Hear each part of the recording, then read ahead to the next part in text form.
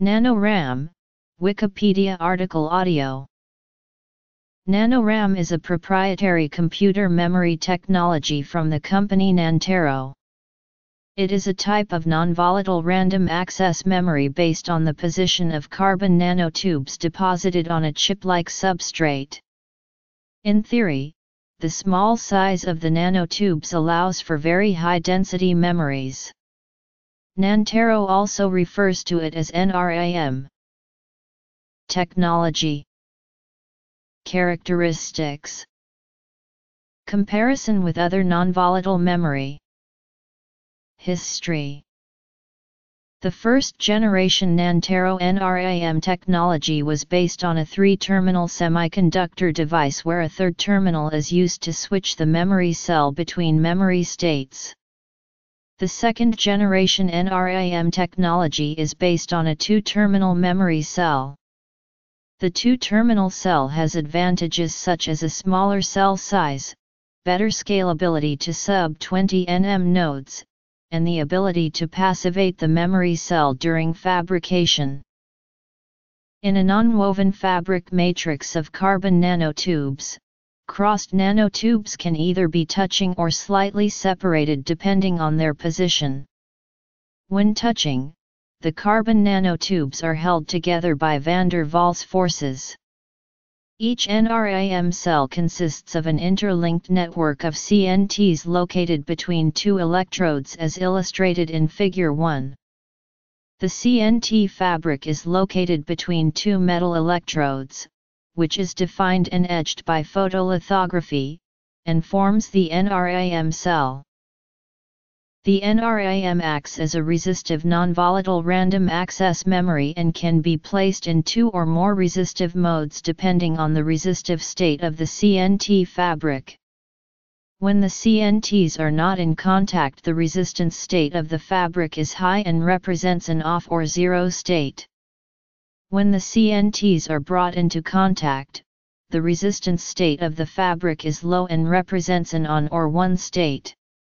NRAM acts as a memory because the two resistive states are very stable. In the zero state, the CNTs are not in contact and remain in a separated state due to the stiffness of the CNTs resulting in a high resistance or low current measurement state between the top and bottom electrodes. In the one state, the CNTs are in contact and remain contacted due to van der Waals forces between the CNTs, resulting in a low resistance or high current measurement state between the top and bottom electrodes. To switch the NRAM between states, a small voltage greater than the read voltage is applied between top and bottom electrodes. If the NRAM is in the zero state, the voltage applied will cause an electrostatic attraction between the CNTs close each other causing a set operation. After the applied voltage is removed, the CNTs remain in a 1 or low resistance state due to physical adhesion with an activation energy of approximately 5 eV. If the NRAM cell is in the 1 state, applying a voltage greater than the read voltage will generate CNT phonon excitations with sufficient energy to separate the CNT junctions. This is the phonon-driven reset operation. The CNTs remain in the off or high resistance state due to the high mechanical stiffness with an activation energy much greater than 5 eV. Figure 2 illustrates both states of an individual pair of CNTs involved in the switch operation. Due to the high activation energy required for switching between states, the NRAM switch resists outside interference like radiation and operating temperature that can erase or flip conventional memories like DRAM. NRAMs are fabricated by depositing a uniform layer of CNTs onto a prefabricated array of drivers such as transistors as shown in Figure 1. The bottom electrode of the NRAM cell is in contact with the underlying via connecting the cell to the driver. The bottom electrode may be fabricated as part of the underlying via or it may be fabricated simultaneously with the NRAM cell, when the cell is photolithographically defined and etched. Before the cell is photolithographically defined and etched, the top electrode is deposited as a metal film onto the CNT layers so that the top metal electrode is patterned and etched during the definition of the NRAM cell.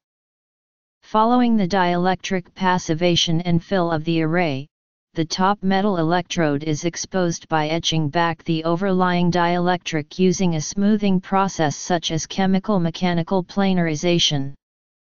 With the top electrode exposed, the next level of metal wiring interconnect is fabricated to complete the NRAM array.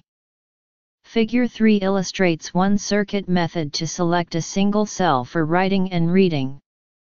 Using a cross-grid interconnect arrangement, the NRAM and driver forms a memory array similar to other memory arrays. A single cell can be selected by applying the proper voltages to the word line, bit line, and select lines without disturbing the other cells in the array. NRAM has a density, at least in theory, similar to that of DRAM. DRAM includes capacitors, which are essentially two small metal plates with a thin insulator between them. NRAM has terminals and electrodes roughly the same size as the plates in a DRAM, the nanotubes between them being so much smaller they add nothing to the overall size. However it seems there is a minimum size at which a DRAM can be built, below which there is simply not enough charge being stored on the plates. NRAM appears to be limited only by lithography. This means that NRAM may be able to become much denser than DRAM, perhaps also less expensive. Unlike DRAM, NRAM does not require power to refresh it, and will retain its memory even after power is removed. Thus the power needed to write and retain the memory state of the device is much lower than DRAM, which has to build up charge on the cell plates. This means that NRAM might compete with DRAM in terms of cost, but also require less power, and as a result also be much faster because write performance is largely determined by the total charge needed. NRAM can theoretically reach performance similar to SRAM, which is faster than DRAM but much less dense, and thus much more expensive. Compared with other non-volatile random access memory technologies, NRAM has several advantages. In flash memory, the common form of NVRAM, each cell resembles a MOSFET transistor with a control gate modulated by a floating gate interposed between the CG and the FG. The FG is surrounded by an insulating dielectric, typically an oxide. Since the Fg is electrically isolated by the surrounding dielectric, any electrons placed on the Fg will be trapped on the Fg which screens the Cg from the channel of the transistor and modifies the threshold voltage of the transistor. By writing and controlling the amount of charge placed on the Fg, the Fg controls the conduction state of the MOSFET flash device depending on the Vt of the cell selected. The current flowing through the MOSFET channel is sensed to determine the state of the cell forming a binary code where a 1 state when an appropriate CG voltage is applied and a 0 state when the CG voltage is applied. After being written to, the insulator traps electrons on the FG, locking it into the 0 state. However, in order to change that bit, the insulator has to be overcharged to erase any charge already stored in it. This requires higher voltage, about 10 volts, much more than a battery can provide. Flash systems include a charge pump that slowly builds up power and releases it at higher voltage. This process is not only slow, but degrades the insulators. For this reason flash has a limited number of writes before the device will no longer operate effectively. NRAM reads and writes are both low energy in comparison to flash, meaning NRAM could have longer battery life. It may also be much faster to write than either, meaning it may be used to replace both. Modern phones include flash memory for storing phone numbers, DRAM for higher performance working memory because flash is too slow, and some SRAM for even higher performance. Some NRAM could be placed on the CPU to act as the CPU cache, and more in other chips replacing both the DRAM and flash. NRAM is one of a variety of new memory systems, many of which claim to be universal in the same fashion as NRAM replacing everything from flash to DRAM to SRAM. An alternative memory ready for use is ferroelectric RAM. FERAM adds a small amount of a ferroelectric material to a DRAM cell. The state of the field in the material encodes the bit in a non-destructive format. FERAM has advantages of NRAM, although the smallest possible cell size is much larger than for NRAM.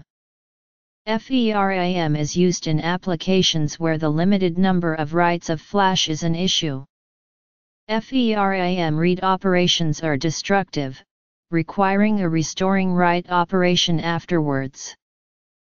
Other more speculative memory systems include magnetoresistive random access memory and phase change memory. MRAM is based on a grid of magnetic tunnel junctions. MRAMs reads the memory using the tunnel magnetoresistance effect, allowing it to read the memory both non-destructively and with very little power. Early MRAM used field-induced writing, reached a limit in terms of size, which kept it much larger than flash devices. However, new MRAM techniques might overcome the size limitation to make MRAM competitive even with flash memory. The techniques are thermal assisted switching, developed by Crocus Technology, and spin transfer torque on which Crocus, Hynix, IBM, and other companies were working in 2009. PRAM is based on a technology similar to that in a writable CD or DVD, using a phase change material that changes its magnetic or electrical properties instead of its optical ones. The PRAM material itself is scalable but requires a larger current source. Nantero was founded in 2001, and headquartered in Woburn, Massachusetts. Due to the massive investment in flash semiconductor fabrication plants, no alternative memory has replaced flash in the marketplace, despite predictions as early as 2003 of the impending speed and density of NRAM. In 2005, NRAM was promoted as universal memory, and Nantero predicted it would be in production by the end of 2006. In August 2008, Lockheed Martin acquired an exclusive license for government applications of Nantero's intellectual property. By early 2009, Nantero had 30 U.S. patents and 47 employees, but was still in the engineering phase. In May 2009, a radiation-resistant version of NRAM was tested on the STS-125 mission of the U.S. Space Shuttle Atlantis. The company was quiet until another round of funding and collaboration with the Belgian research centre IMEC was announced in November 2012. Nantero raised a total of over $42 million through the November 2012 Series D round. Investors included Charles River Ventures, Draper Fisher Jurvetson, Globespan Capital Partners, Stata Venture Partners and Harris and Harris Group. In May 2013, Nantero completed Series D with an investment by Schlumberger.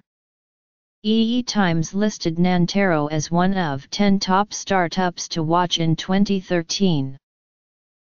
August 31, 2016 Two Fujitsu semiconductor businesses are licensing Nantero NRAM technology with joint Nantero Fujitsu development to produce chips in 2018. they will have several thousand times faster rewrites and many thousands of times more rewrite cycles than embedded flash memory https slash slash www.theregister.co.uk slash 2016 slash 08 slash 31 slash nram dev nantero signs fujitsu